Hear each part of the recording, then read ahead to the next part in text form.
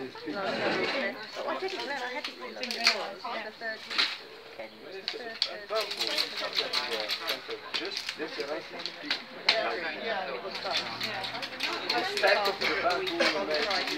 Rahim is shaving off the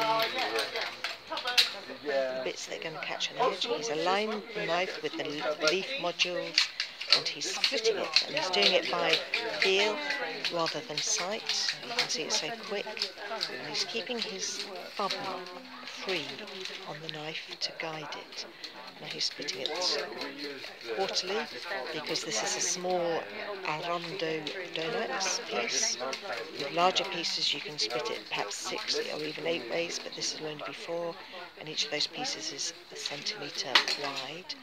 And now he's taking that huge knife and just smoothing down the rough pieces on the insides, the the, um, the nodules at the where the leaves grow to make it smooth and workable.